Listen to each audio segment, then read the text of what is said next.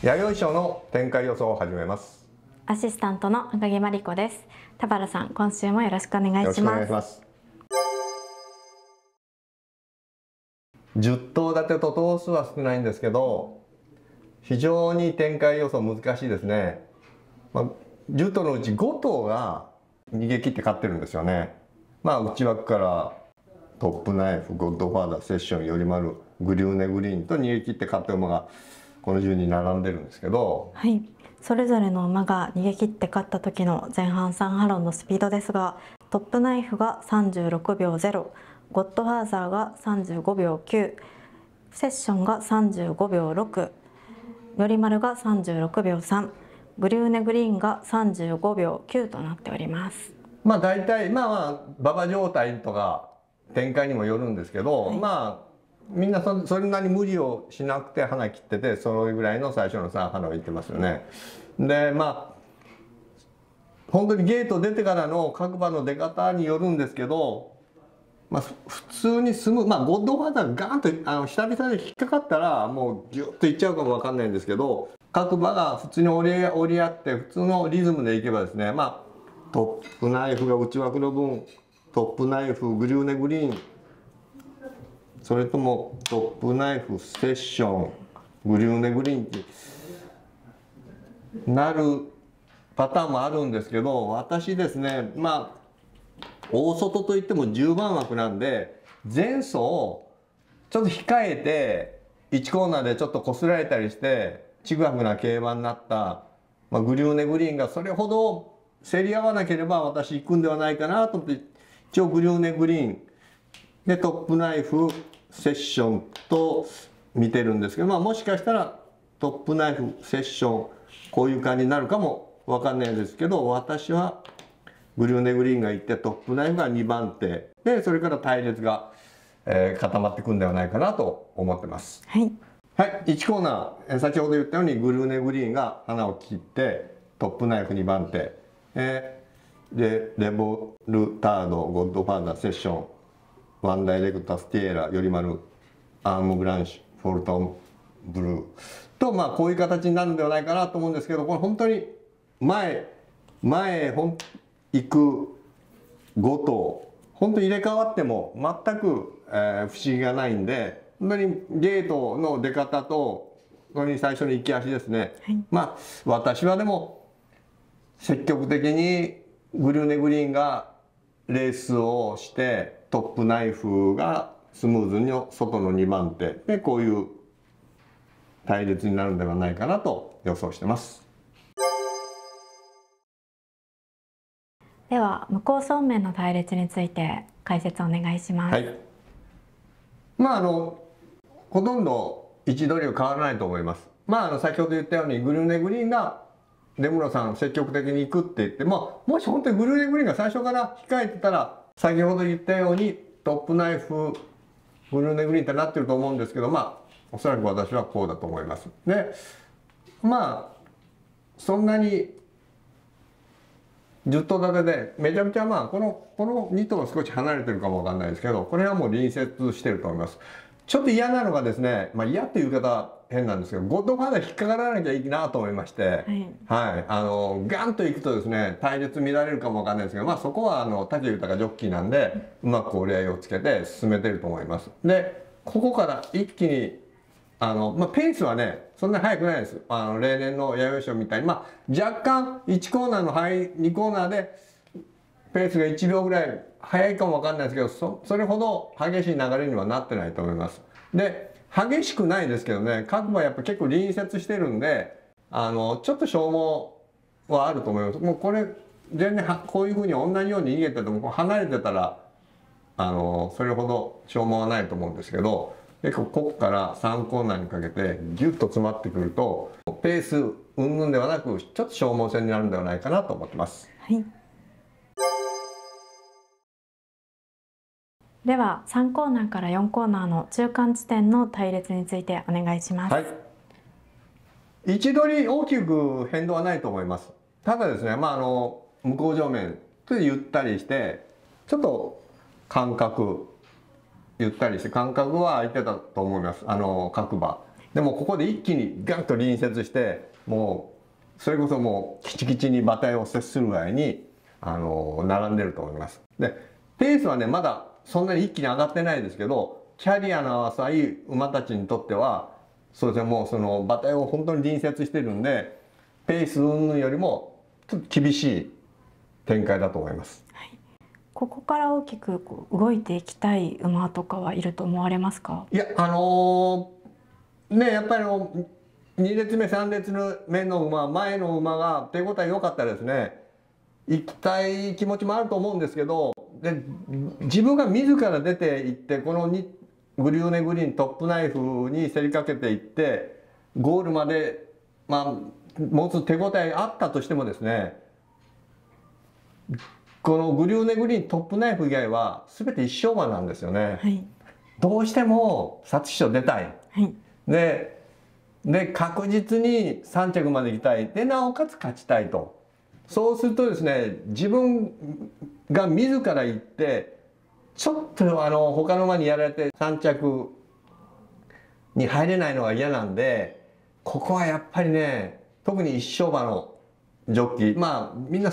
一勝馬でも素質がある皐月賞出たいと思ってるんでやっぱり我慢してると思います。はいでは4コーナーから直線にかけての攻防です、はい。山陽コーナーでギュッと詰まった馬群がですね、ここにね、まあ、2列目、3列目いた馬がちょっとやや外、外に出て、でもあのもうかなり落ち着いた流れで来てるんで、前が楽してると思うんで、もうあの2列目、3列目後方の各ジョッキーはもう仕掛けてると思います。ただ、あの、先頭切ってるグリューネグリーンのデムロさんはまあ馬の手応え次第ですね。手応えがあれば、6分ぐらいか7分ぐらいで追い始めてると思うんですけどもこれで手応えなかったらもうゴーサイン出してると思います。今回おそらく一番人気になるであろうトップナイフなんですが前走のホープフルステークスは逃げてもうゴールの寸前で差されてしまいました。ですが2走前の京都2歳ステークスではこの辺りで下がってきた馬に大きな不利を受けて寸前届かなかったという悔しい思いがあったと思うんですがこの辺りでの横山ジョッキーの心理状態っていうのはどういうものだと思われますか？そうですね。も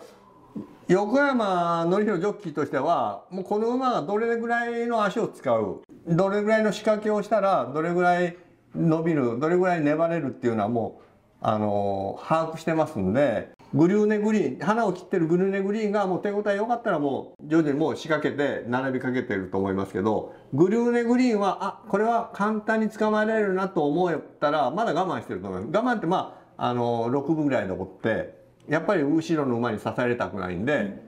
ですからグリューネグリーンとの馬とあくまで自分との手応えなんですけどトップナイフ多分手応えがいいと思います。まあ、先ほど言ったようにもしかしてあのグリューネグリーンがいてセッションあたりがいて2列目グリューネグリーンは後ろに構えてたとしてもこの辺はもうスムーズに 2, との間を割れる割ってくると思うんでもう仕掛けのポイントだけは絶対間違わないジョッキーですから抜け出すタイミングをきっちり測ってあの乗ってると思います。はいではいよいよ直線を向いての攻防です。はい。もうグリューネグリーンここまでスムーズにいってたらやっぱり粘ってると思いますよ。でもトップナイフ並びかけますよね。でレレボルタード来てます。まあゴッドファーザ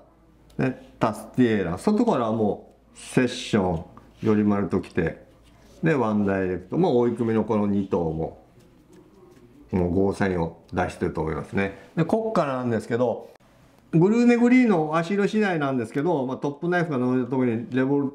タードはこう狙ってると思います。でゴッドファーザーの足色次第なんですけど、まあ、タスティエーラがここ来るんではないかなと思います。で、えー、セッションより丸の後ろからワンダイレクトでこういう感じでせめぎ合いになると思います。もうグリューネグリーン粘りますよね。もうトップナイフでレボルタードここ終わってきてもトップナイフとグリューネグリーン追い合いになってると思います。ゴッドファーザーやっぱり久々久々の分ちょっとかかると思うんですよね。その分やっぱ足色鈍って達成が来てると思いますね。で外からもう2列目3列目だったらセッションより丸でワンナイワンダイレクトはこの2頭の足色次第ですけどまあこの2頭足色が良かったらもう外にスムーズにこういうふうに大外分回るわけじゃないんでまあここ割ってきてもいいですしこう来てると思いますね。ででもうグリューネグリもギリギリまで粘ってると私は思いますでもそうですねやっぱりレボルタードってもうトップナイフタスティエーラセッションより丸来てるんですけどグリューネグリにトップナイフが迫って抜け出すとこにもタスティエーラも来てると思いますでニット来てるとこ外から私ワンダイレクトが捕まえるれるんではないかなって思ってるんですけど、まあ、ワンダイレクトトップナイフグリューネグリーンタスティエーラ。まあこれらも来てると思うんですけどこういう争いですかね。赤井さんどうですか？私はやっぱりもうこの辺りでトップナイフが抜け出してそのままゴール板を切ってくれるんじゃないかな、はい、先週、はい、もう見事にフィシーグラスが刺すだろうって ねもうズバリ的中してますし、はい、あのーもう私ももうトップナイフ本当にもうもう本命ですよね。本命っていうかもうあのずっとお話しさせてたさせていただいたようにガンガンガンガンハイペースにもならないですしあのもうトップナイフにもってこいの展開だと思うんですよね。もう2番手につけてもうどれか生かしてこのグリューネグリーの後ろの3番手につけてもでも私もそうの展開がもう一番あのパーセンテージ的には高いかなと思うんですよね。赤木さんの言ってるように。ただこう先ほど言ったように34コーナーでギュッと隣接してもう目に見えないこう死のせめぎ合いがあった時にここの直線の分でグルーネグリーンを捕まえに行ってタスティエロが外から来た分のちょっと足を使う分だけ。ちょっとじっと2列3列目でじっとしてたワンダイレクトが私は来るんではないかなと。で赤木さんが言ったようにもうトップナイフがやっぱり十分もう抜け出すパーセンテージは高いんですけど、はい、はい、確かに田原さんのおっしゃるワンダイレクトは前走もいい足でしたしここ2走すごくいい競馬をされてますもんね。そうです。あのー、前走もね私前任者、まあ、前走乗ってた出室さんには申し訳ないんですけど、あのー、仕掛けがちょっと早かったね。もう一呼吸待ってたら勝ってましたね。今回ねそういう意味では直線我慢してあの一呼吸二呼吸待って追い出せるルメールさんなんで私安城強化だと思います。でそういった意味でも私ワンダイレクトを推奨してます。皐月賞トライアル弥生賞。10頭と頭数は少ないですけど面白いレースになりそうですね。はい。